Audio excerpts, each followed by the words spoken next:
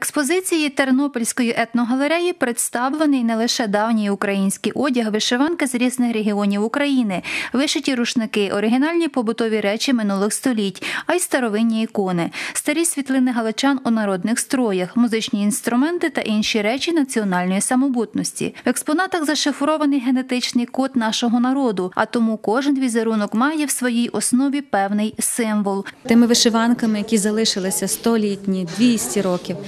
Тому е, там, там, де це відбувається, це для людей така відкриття якоїсь окремої планети. Ми звикли мати е, вишиття сучасне, яке на там на базарах часом можна купити. Але якщо ми приходимо і бачимо, де є стрій, і чому він саме такий, і що символізує на ньому кожна смужка, то це нам теж допомагає зрозуміти, які ми були колись.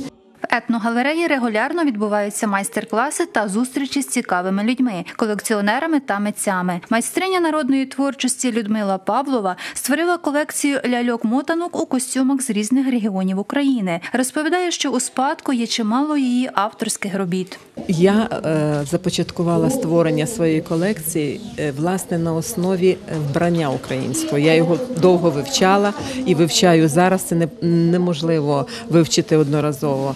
І створюю ляльки на основі готових музейних зразків, просто в зменшеному вигляді.